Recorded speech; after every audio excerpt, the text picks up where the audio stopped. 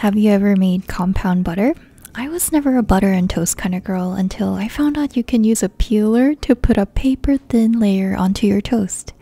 And today we're using Korean seaweed kim, which is different from Japanese nori. It's crispier and more porous, seasoned with sesame oil. Put a packet of seaweed into a plastic bag and crush them with your hands into tiny, tiny pieces. Grab a stick of softened butter. I put mine on top of the rice cooker while I took a shower. Add the seaweed, salt, and sesame seeds.